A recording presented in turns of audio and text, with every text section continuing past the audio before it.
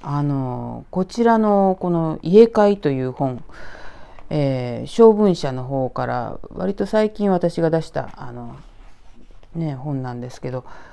こちらのね「表し」っていうタイトルの話。この「表し」っていう題名のこの話の、えー、体験者さんというか主人公ね、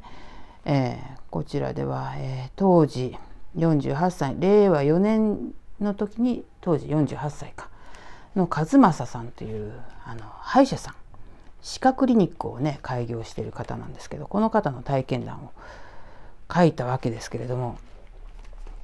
この方ねあの私あの電話インタビューするのはこの家会の時が初めてじゃございませんでもっとずっと前にねあの実話祈祷奈落という竹書房怪談文庫のこちらの本ですかねこちらの本の方でも実は、まあ、お話聞いて書かせていただいてたんですよ。であの名前がね本によって私同じ名前にすることも多いんですけどこの場合ちょっと違っていて、まあ、ですからこっちの本では、えー、忠彦さんになってるんですが、まあ、家会の方で和正さんにしてるんで和正さんってことにしますかね。はい滋賀県の住宅街で、えー、歯科クリニックを開業している和正さん。自宅兼クリニックというようなねあのデザイナースハウスっていうんですか。立派なお家を非常に若いうち30代のうちにお建てになって、えー、まあねで息子さんもいてでまあね犬を飼って、えー、とてもまあ豊かに、えー、良い暮らしを送っていたわけです。ご両親という方彼の家から徒歩5分のところにお家がありましてなんならそこで彼は生まれ育ったわけですけれどもご両親2人暮らしになってから和正さん心配してねだんだんね親父とおふくろも年取るからねちょっと心配だと言うんでであの警備保障会社のこう自動通報システムみたいなものをねあの、まあ、取り入れさせたんですよ。めんどくさいわそんなの。いいよ大丈夫だよ。とご両親が言うのを強いていやいやこういうものをつけとくと安心だからとかって言ってね解き伏せましてやや強引につけさせた。でどんなシステムかっていうとこれが、えー、玄関などを開けて、まあ、家のねそこかしこどっか開けて中に誰かが入る。入ったら30秒以内にこのシステムを解除しないと、えー、ブザーが鳴り響きましてそして、えー、警備保障会社からガードマンが飛んでくるというこういうシステムなんです。家に入ったらぼやぼやしてちゃいけないんですね。すぐにこのシステム解除をしないといけない。で解除するのどうしたらいいかというと IC スティック、まあ、小さいものらしいんですけど IC スティックをまあ決められたとこに差し込まないといけない。っていうことなんです。さて数年前のことなんですけどね。和正さんのご両親がアメリカに旅行に行くことになった。で3週間も家を離れるっていうんですね。えー、そんなに長期のね旅行っていうのはご両親とももちろん初めてで大変楽しみにしていた。でいろいろ計画を立てていた。和正さんも相談に乗っていた。とねご両親が和正さんに立っての頼みで。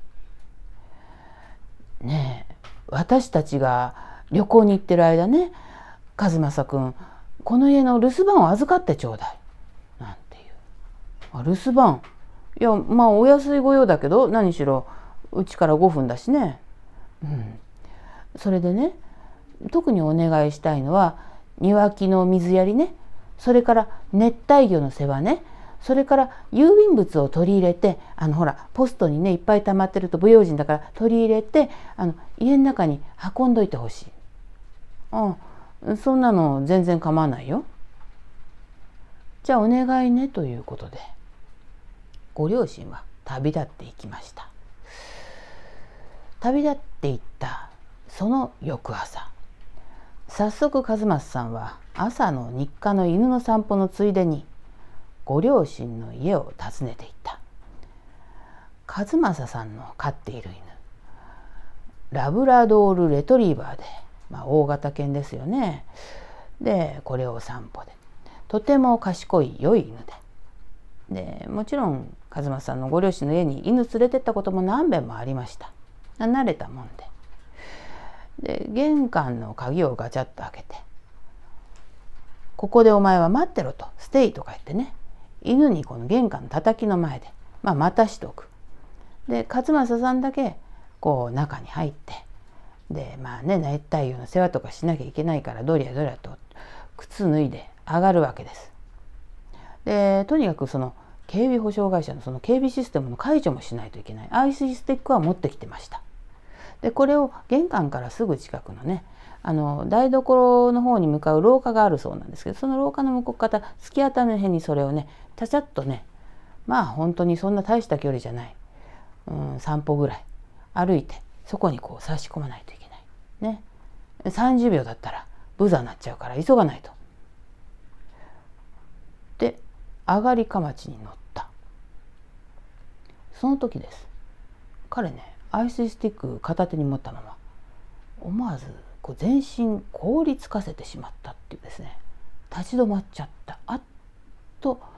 もう声も出ないほど驚いた。何に驚いたって。玄関から入った時にはそんなものいなかったなと思うんだけれども台所の手前廊下の途中にですねちょうど彼がそのまさにその辺りに行ってこのシステム解除のところに IC スティック差し込まなきゃいけないその辺に後ろ向きに着物を着た女が立っていたっていうんですよ。で女が立っていた。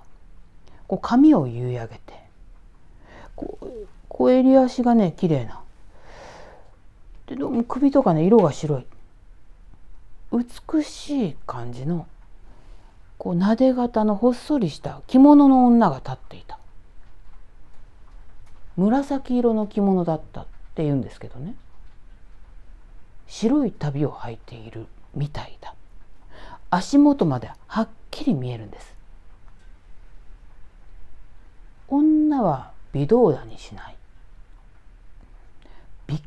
くりしている彼の前で女はじーっと立っている。ところがねカチャカチャカチャカチャ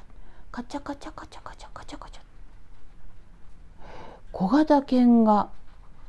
床の上でこう爪がね歩くと小型犬って何て言うんですか？爪が床に当たったりするじゃないですか。フローリングのとことか。カチャカチャカチャカチャ。小型犬と彼は思ったみたいなんですけどとにかくそんなような小型犬がフローリングの床の上でこう歩くような音が聞こえてきた。カチャカチャカチャカチャカチャカチャカチャカチャカチャカチャカチャカチャその音はね廊下を台所の方に遠ざかっていくカチャカチャカチャカチャカチャ。カチャで音が台所の方に消えたと思ったその時凄まじい音でブザーが鳴り響きました。うわ大変だ30秒経っちゃったんだ。と彼は我に返った。途端に女の姿がかき消えて。で飛んでって IC スティックをまあね決まったところに差し込んでシステムを解除したっていうことなんですけどねそんな話を聞きました。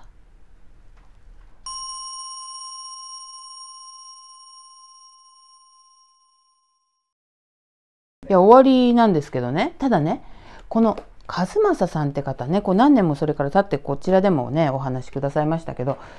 なんかね割と頻繁に不思議な目に合うみたいであのこのあと次回以降ね